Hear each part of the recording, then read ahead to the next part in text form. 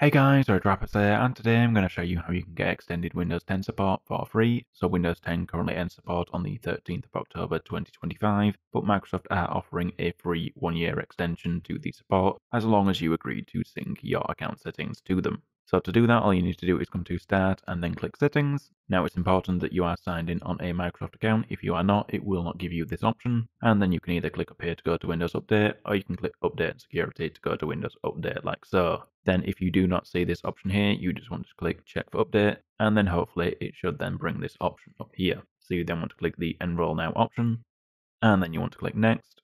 Now, as you can see, I'm eligible for extended support as long as I agree to sync my account settings to Microsoft. So if we click enroll on that, it has now enrolled our account in the extended support program, and we should now keep getting Windows 10 updates until the 13th of October 2026. So we can click done on that, and we should now continue to get updates. So guys, hopefully that worked for you. If you liked the video, don't forget the like button. If you dislike to hit the dislike button, subscribe, content like this, and I'll see you another time. Bye.